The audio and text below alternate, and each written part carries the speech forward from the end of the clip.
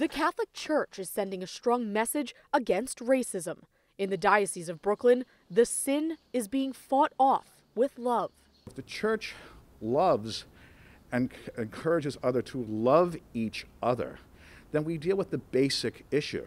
Father Bill Smith, the pastor of St. Charles Borromeo in Brooklyn Heights, is leading by example, encouraging his parishioners to address racism by talking about their experiences. We become human by community and by building up and strengthening relationships. Who else can do that but the church? We have this obligation to to pray for our community and our country and our world. Recently, following a Zoom prayer service, parishioners listened to the experiences of one of their own. I respect the police and everything, but I would be lying to you if I've had interactions with the police where I knew if my skin color was different, it would not happen. Tevin Williams is a new Catholic and a new New Yorker.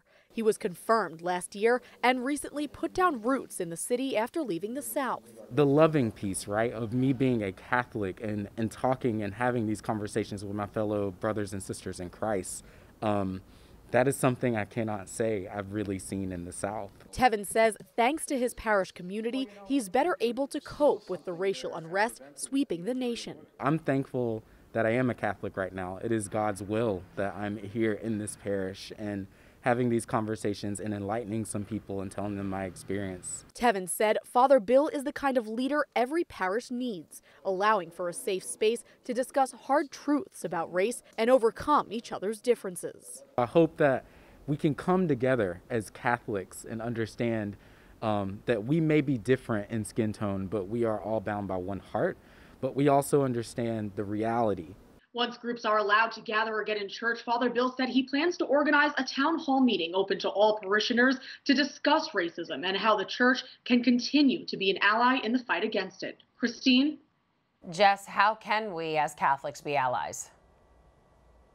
In Tevin's interview on that Zoom service, he told people the first way everyone can do something is by speaking out, calling out racial injustices when you see them. And he also suggested that Catholic what we do best volunteer, help out in the community, and promote love whenever we can.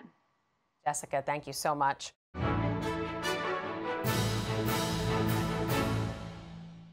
If you're watching Currents News on YouTube, be sure to hit the subscribe button and then click on the bell to get instant updates about all of our newest content because we are putting your faith in the news.